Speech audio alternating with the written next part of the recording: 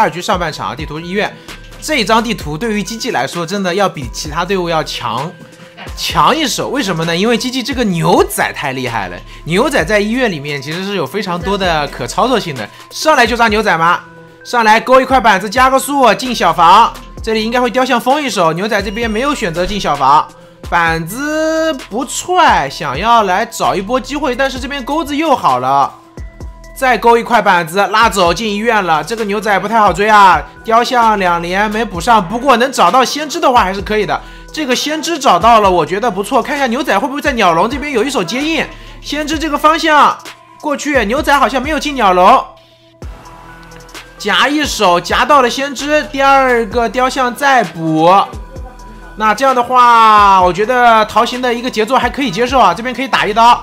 存在感要的，这个存在感要的，对吧？你要跟着这个先知不打刀，他可以进医院的。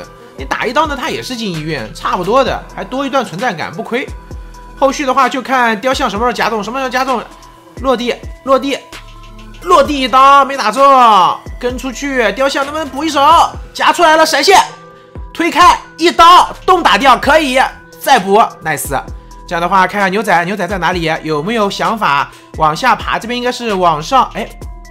他应该是桃心，应该是知道牛仔的一个方向，所以说选择反向挂，这样的话可以避免一波牛仔的一个牵制，还是选择比较稳健的。因为这个时间点抓人的话，还是算蛮快的。他这边过去，对吧？象形坟场一交，或者说过来把佣兵的洞一打，看看这边要不要把这个洞给处理掉。我觉得这个洞其实是可以处理的，不过求忍这边没看到桃心交技能，有可能会判断它是一个传送。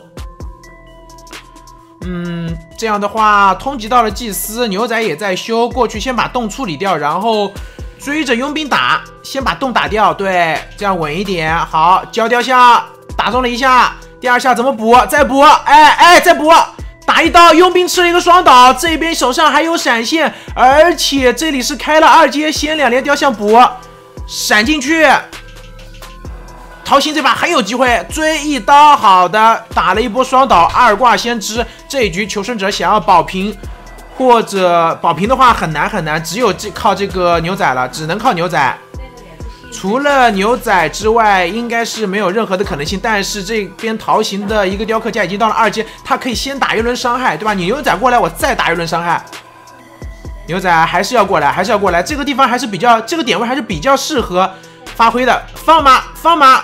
哎，追着打，追着打，勾下来了，放一手呀，这兄追一刀好也行也行也行，勾了一段，拖了一轮时间，这样的话是给到祭司把佣兵摸满的一个时间啊。但牛仔的鞭子是着实不多了，还要来还要来，桃心的头有点铁啊，你就不能放下来打？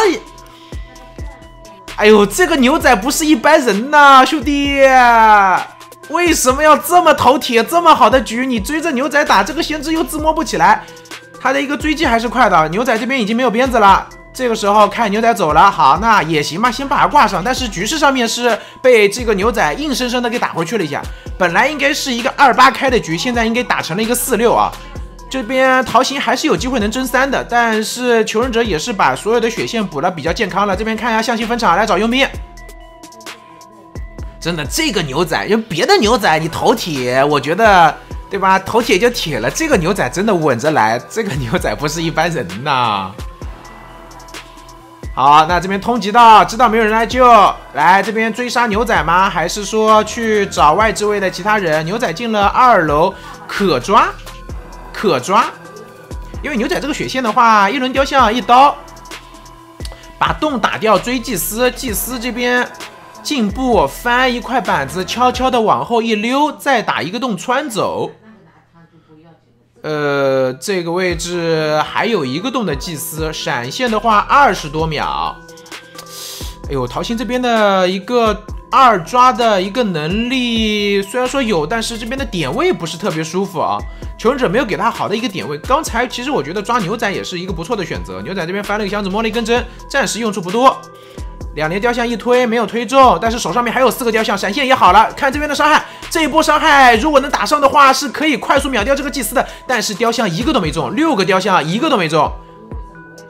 那这样的话，闪现再开一刀吗？还是说等等跟前面过去还有块板子？这里板子再一破，电击的话剩下不多了。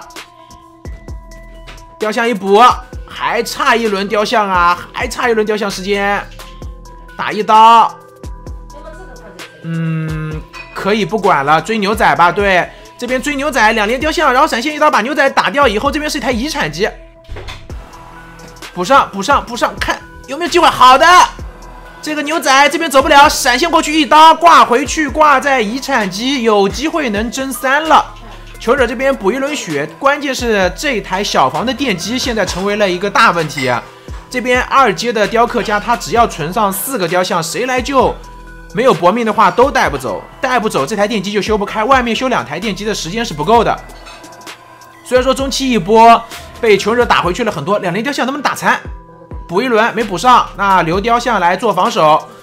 这边佣兵，佣兵手上面三个护臂，能拖的时间能拖一会儿啊。等这个血线安全了再来救吧，救是一定要救的，这个是一定要救的，必须要救。不救的话，这把还是一个多抓，打一刀救下来还行。怎么说？两连雕像，雕像能补吗？一推夹中一下，好的，手上面还有四个雕像，这牛仔走不了。再补，好，再挂回去。那这把应该是偏三了啊，偏三了。呃，佣兵这个电机好像快了，应该是能修到九成。先把放下，要打一轮雕像。推。好的，再两连雕像把佣兵击倒，这把就有了。再补，护臂交掉，那也行吧。这边祭司的这个血线，哎，这个两连雕像没打中啊，打中佣兵的话基本上稳了。牛仔这边可挂啊，可挂，这里反正没有人。哎，不要帮，不要让牛仔把自摸交起来呀。推一手打中祭司，好的，这边再看，再看，再看，他守着这边的牛仔。慢慢打，慢慢打，不急啊，不急，他在等，在等，在等雕像牛仔，不然的话牛仔要交自摸起来了，交了一个象形坟场，呃，挂的话有可能会被祭司打动，局局势很紧张，牛仔交自摸了，其实是可以挂的，我觉得这边是可以挂的，这样的话那就是硬手的电击打了，这里再追。补掉好，牛仔交掉自摸的，但是佣兵跟祭司两个人摸好，祭司两个洞，佣兵一个护臂，象形坟场一波没找到，推过去，手上面留有雕像，能不能把佣兵摸起来？这个伤害，哎，摸不起来吗？摸起来了，推，打一刀，佣兵要倒地，佣兵要倒地，佣兵这边要强行摸，要留佣兵，留佣兵，留佣兵。呃，祭司应该是要去摸牛仔，但是牛仔的位置跟佣兵这边是重合的。这局偏四偏四偏四，求者这边应该是走不了了，可以挂上这边的佣兵。那祭司可能要在二楼打一个洞，他需要二楼打一个洞，然后接对。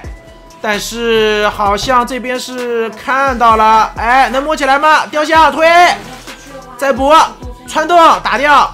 呃，这边。佣兵能不能交自摸起来？佣兵受的伤害有点多，估计交不起来。这样的话，祭司还能把牛仔给摸，而且可以摸满。先把佣兵挂上，再盘。这个局势还能盘。牛仔手上面甚至有一根针，他甚至都不需要这个队友的治疗，他可以外置位再去开一台。这里是不断的在跳成就啊，不断的在跳成就。嗯，一挂的佣兵。手上面有传送二阶的雕刻家，这一轮只要主主要就是那个祭司的洞没拦住，如果能拦住这把应该是稳四了。但是现在的感觉还是一个偏四，待会儿抓牛仔就行了。守着电机慢慢的打，慢慢打，传送捏在手上面。牛仔和祭司两个人准备打一波协同救人，一个往底线绕过来，一个往正面冲过来。看见牛仔了，向心分场可以交一手啊。哎，这边。追的有点深，没必要，没必要，退回去防守。对，一定要退回去防守。好行，别被吸引了，退回去防守。他要追牛仔，追牛仔那边的电机怎么办？这，哎呦，这回去防守呀，把这佣兵守死了再去追啊。那这样的话，他雕像不够，被求生者拉出来了。这牛仔还有一根针，慢慢扎。他其实守住这个祭司是绝对救不下来的，一轮雕像一刀就没了，把这佣兵守死，牛仔交掉自摸的，再找牛仔守住在电机，怎么地都是一个三争四。现在的话拉扯了以后，那么外面的话求生者可以再慢慢弹，祭司再把这边的佣兵可以摸好，雕像推没推到，守这台电机慢慢打，这个局势就被拉长了，慢慢的逐渐演化成一个膀胱局，两边都有机会，两边都有机会。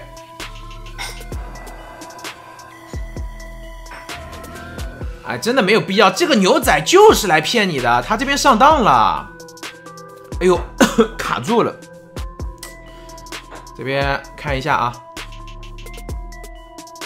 哎，这画面不断的重跳，应该是出现了一些网络问题啊。要不就四四五再开一台吧。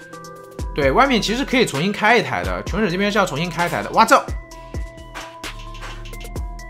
这什么情况？哎，终于退，这样的话两个人摸好，这边雕像没有，秒不掉这个牛仔，这个牛仔秒不掉，秒不掉，秒不掉，现在秒不掉，秒不掉，回身防守，外面要重新骑台电机，这把求生者甚至有机会能保平啊，这个传送交了，外面重启一台电机，打一个技能的真空期能不能打？祭司这边。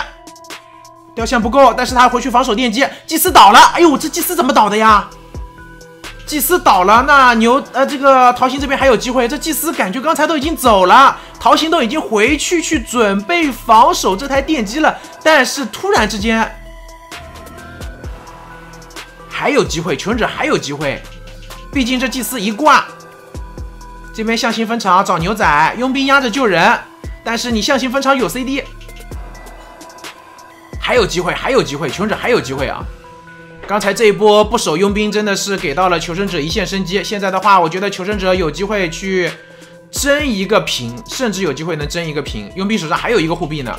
开门战的话，再拖四十多秒，这边象形分场再找牛仔不能倒，这个牛仔是交掉自摸的，不能倒，打半过半了，血线过半。这里要追牛仔吗？小房的电机也是压好的，算是压好的，两边的电机都压好了。这边有两个上挂飞的人，有一个交掉自摸的人。追谁？电机直接点亮。桃行这边有点迷茫，不知道追谁了。先处理祭司，祭司双命两个洞，传送十秒钟。牛仔在那边开门，一推。穿洞过来，一刀还能扛一刀，祭司还能扛一刀，总不会三跑吧？这个局挨一刀，祭司进，直接奔地窖，直接奔地窖，门能开，传送，牛仔冲，走，不会吧？这三跑，哇，GG 的求生者打的是真的好。我的天呐，这个局我做梦都没想到啊！这平局能够想得到三跑，你能想得到吗？一个四杀的局。啊！